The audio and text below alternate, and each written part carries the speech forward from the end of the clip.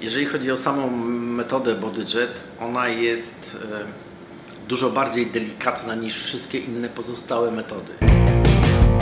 Pierwsza metoda, jaka była strzykawkowa, wykorzystywała strzykawki, e, które miały pojemność 60 ml, a podciśnienie, przy którym odsysaliśmy tkankę tłuszczową, sięgało jednej atmosfery technicznej.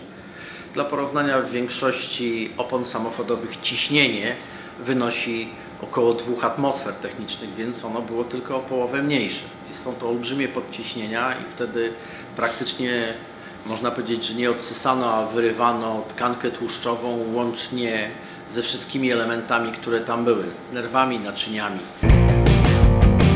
Następna metoda, która była, była taka metoda, której końcówka e, do odsysania drgała, czyli tak zwana z końcówką wibracyjną. Ona, krótko mówiąc, rozbijała tkankę tłuszczową, a co za tym idzie, niszczyła komórki tłuszczowe. One się praktycznie nie nadawały do żadnego przeszczepu, bo były zniszczone. Kolejna ultradźwiękowa energie, które się wydzielają na końcówce aparatu ultradźwiękowego zastosowaniem do odsysania jest tak olbrzymia, że powoduje powstanie emulgatu tłuszczowego. Nie ma takiej możliwości, żeby wyosobnić żywe komórki od tych, które są martwe i je przeszczepić.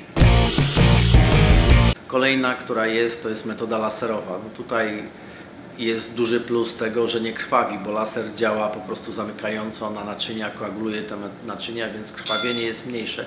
Ale tak samo jak poprzednie metody uszkadza wszystko, co jest w okolicy, czyli naczynia, nerwy i tkanki okoliczne zrębowe, więc nie jest to specjalnie delikatna metoda. Jeżeli chodzi o BodyJet, to jest to wymywanie, a nie wyrywanie komórek tłuszczowych, które są praktycznie nieuszkodzone. Dlatego jest łatwo je wykorzystać. Można je przeszczepić, można z nich opracować komórki macierzyste.